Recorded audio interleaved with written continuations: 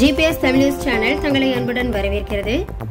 தற்போது ஏர் India express விமானத்தில் பயணிக்கும் சர்வதேச விமான பயணிகளுக்கு ஒரு மகிழ்ச்சியான செய்தியாக நீதிமன்றம் அறிவித்துள்ள தீர்ப்பின்படி ஏர் இந்தியா விமான நிறுவனம் சர்வதேச பயணங்களை மேற்கொள்ளும் பயணிகளுக்கு ஒரு முக்கிய அறிவிப்பு ஒன்றை வெளியிட்டுள்ளது.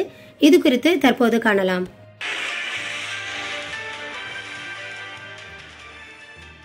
ஏர் இந்தியா எக்ஸ்பிரஸில் சர்வதேச பயணங்களுக்காக விமான டிக்கெட்டுகளை முன்பதிவு செய்தவர்கள் தொற்றுநோய் காரணமாக டிக்கெட்டுகளை ரத்து செய்திருந்தால் அவர்கள் பணத்தை திரும்ப பெறுவார்கள் என தற்போது அறிவிக்கப்பட்டுள்ளது.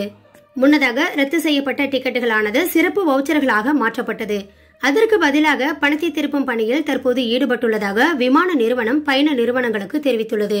ஏனெனில் விமான டிக்கெட் ரத்து செய்யப்பட்ட பின்னர் பணத்தை திருப்பி தராதது குறித்து பயணிகள் மற்றும் பயண முகவர் நிறுவனங்கள் புகார் அளித்ததை அடுத்து டிக்கெட் தொகையை திருப்பித் தர வேண்டும் என நீதிமன்றம் தீர்ப்பளித்துள்ளது. இதற்கு முன்பு விமான நிறுவனம் ரத்து செய்யப்பட்ட டிக்கெட்டுகளை வவுச்சர்களாக மாற்றி அதை திருப்பி செலுத்துவதற்கு பதிலாக மற்றொரு பயணத்திற்கான டிக்கெட்டுகளை முன்பதிவு செய்ய பயன்படுத்தலாம் என அறிவித்திருந்தது.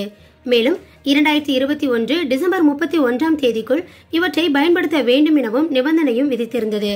ஆனால் தொற்றுநோய் காரணமாக பெரும்பான்மையான பயணிகள் இந்த வவுச்சரை பயன்படுத்த முடியாமல் போனதால் டிக்கெட்டுகளை முன்பதிவு செய்த பயணிகள் தங்களது பணத்தை இழக்க நேரிட்டது.